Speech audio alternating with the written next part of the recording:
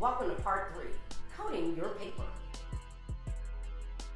I have a lot of chemicals, so I divided these chemicals into smaller bottles. You like the cool sticker I made?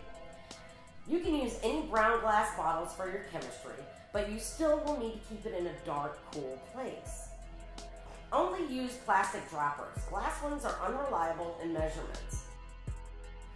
You will need to pipe out the specific number of drops to coat your size paper into a shot glass dedicated to this chemistry. This paper is cut to a three and a quarter by six inches. So I will use eight drops of solution A and eight drops of solution B. Next, swirl the solution into the glass, then pour across the paper.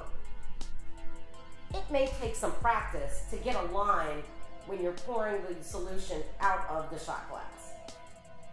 Using a wet hake brush, smooth the solution across the paper. You always want to use a wet brush because a dry one will soak up your chemical and you want the paper to soak up your chemical. Finally, put the paper in a light tight box until the coating has dried.